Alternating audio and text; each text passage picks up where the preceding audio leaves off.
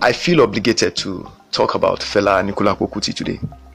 Some of you who have had conversations with me know that I named one of my kids after Fela, my first child. But that's not what's important here. He was born into a family that conferred on him the opportunity of living the life of an elitist, to live in comfort and in wealth and in convenience. And he chose not to do that. And instead, he put himself at the service of the masses of Nigeria. You know, when I was growing up, I remember my father used to play Fela's music in his car. My father did not necessarily believe in Fela's philosophy, but he enjoyed, as a young man, he enjoyed Fela's music. And that's what I found has actually happened. A lot of people that encountered Fela, who were people that were quote unquote exposed to Western style schooling, did not really engage with Fela intellectually and philosophically. They engaged with Fela musically, and even that on a limited level. So many of the so-called well-schooled, well-educated, so-called edu- uh, uh, enlightened people who consider themselves to be civilized will tell you they, they've never been to the to the shrine. I have been to the shrine, but I did not go to the shrine when Fela was alive. I ended up going to the shrine after he had passed on, many years after I passed on, but only because I did not have the opportunity. But the point I'm trying to make is that I have listened to so many well-schooled people who speak about Fela in the most degrading manner. And uh, I say what I'm saying now is that this is not a personal attack on anybody. I'm saying this because I owe it to all the young people of Nigeria and African continent. I owe them an obligation to say this to them. If there is one man, believe me, even beyond the presidents that have ever ruled this country, that every young Nigerian and African should literally idolize if it's possible, it is Fela Anikulapo Kuti. And the reasons are so many, but I'm just going to mention a few. One of them is the fact that today, if you want to look at the works he puts on ground by in form of music, the messages he used the music to pass, they remain relevant to, and to us even today.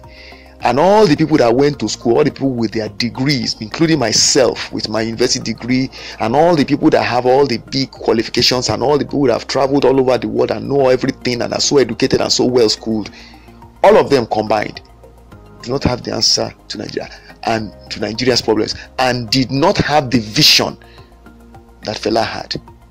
They did not make the kind of prophecies Fela made, and they did not fight anything resembling the fight, battle Fela fought on behalf of the poor masses of this country. If there's any man that all of us as a nation should be grateful to, it is Fela Anikulapo Kuti. The rest of the world is celebrating Fela.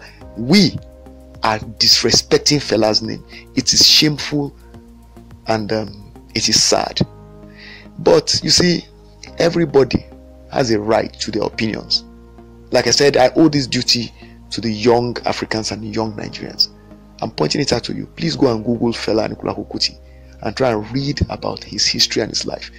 Then take a look at what Fela Anikulapo Kuti's children are achieving on a daily basis, and then check what the children of all the so-called enlightened and educated and uh, civilized people in Nigeria are achieving.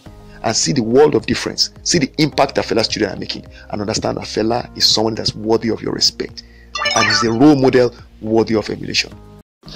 And maybe I should end with this because I know some people will always bring it up, but I consider it irrelevant. They will tell you he used to walk around naked, uh, he used to um, um, uh, drink, uh, smoke igbo, uh, he used to, I mean, he had many wives and all of that. Look, first of all, Fela's choice of clothing was due to his desire to pass a message to the colonizers that Africans have their own clothing. For those of you who do not know, Fela actually had a personal footwear maker, a guy who made his own shoes. He didn't buy Western shoes. In his home, I remember some pictures I saw. It was even a video. Fela had home full of shoes, top to bottom, clothes, top to bottom.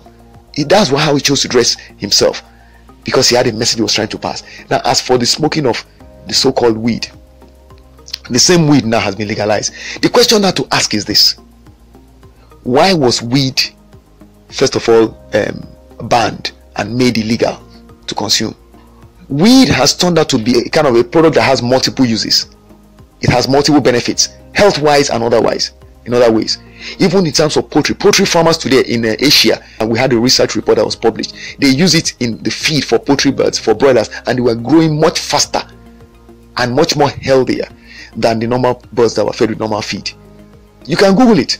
Now, the white man came, saw weed, outlawed weed. It's just the same way the white man came and did many things because they wanted to benefit their industries and their health pharmaceutical um, industries. So the question to ask ourselves is why is it that the same white man that outlawed weed before suddenly now has endorsed the use of weed? What's changed? What has changed? And that's where we should look at it from. Weed, is it bad in, in and of itself? Or is it beneficial? Peter Tosh sang the song. Legalize it. Okay? And don't criticize it. Uh, birds eat it. Ants eat it. Okay? Doctors smoke it. Nurses smoke it. Lawyers smoke it. It's good for asthma. It's good for tuberculosis. It's good for me. He was mentioning things that will make it beneficial to, to use weed the same marijuana that they outlawed. He kept singing. He sang way back in the early 80s. The song, it was a hit song. Legalize it. You can Google for the lyrics. Now, why did Peter Tosh sing that song? Because he knew that that thing had more benefits than itself. Is there anything used in excess that does not have negative effects? None, nothing. If you take too much um, of any drink, it's either if it's sweet it's going to cause you to have a runny stomach. If it's um, alcoholic it's going to cause you to get drunk. There is nothing on this planet that you use in excess that does not have a negative impact on you. So it's just the same way. Just as weed can be beneficial it can also be damaging if it is used in excess or wrongly if you have drugs in your house that maybe paracetamol, there's a dosage for it. If you exceed the dosage, it can cause damage to you. So it is beneficial but has the potential to cause harm. That's the same way weed is. It's just the same thing. Now, I don't take weed, but the truth of the matter is that the reality is they've made it now a legal entity.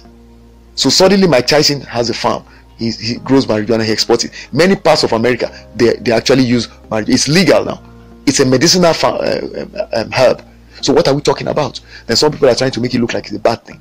No, I argue that if they've legalized it in the country that initially banned it, then we should embrace it, of course, intelligently.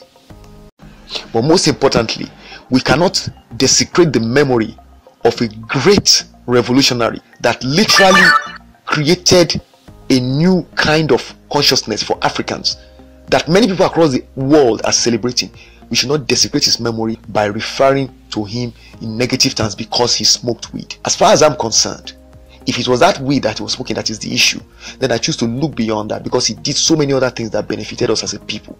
We should celebrate him for that.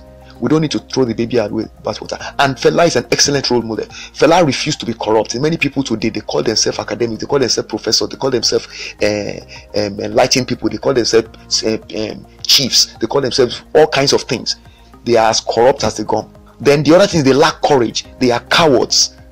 Things that they should do, they don't do. Things they should say, they don't say. Things they should stand for, they don't stand for. Fela did all of that. He didn't have to. He came from a family where he could have chosen to live an easy life. He didn't do that. He was a man of courage. He deserves our respect and our, and our ah, come on, man. We should be teaching our kids about Fela Anikulapo Kuti. i I've told my kids many times, many stories about him. And I will continue to do so and I will continue to write and speak about him. I think the problem with us is that we do not understand who we are. Fela was the one that enabled me to know that I needed to go and study Egypt and to know the origin of ancient Egypt and to know the origin of ancient civilization and to understand that Africans were the ones that birthed civilization. If it wasn't for Fela's song, I would not have been sensitive enough to pay attention to that. Fela's sons have been talking about the same thing. Fela's sons are more educated and more enlightened and more aware of African history and African African origins than many of us who are twice as old as they are. We should be ashamed of ourselves as, as elders in African society because these young people who are Fela's children are demonstrating more courage than the rest of us. And it's a shame that we choose not to acknowledge that man even in death. But of course, it doesn't matter either way. What is important is that there are some of us who will continue to carry on the legacy of Fela Anikulapo Kuti.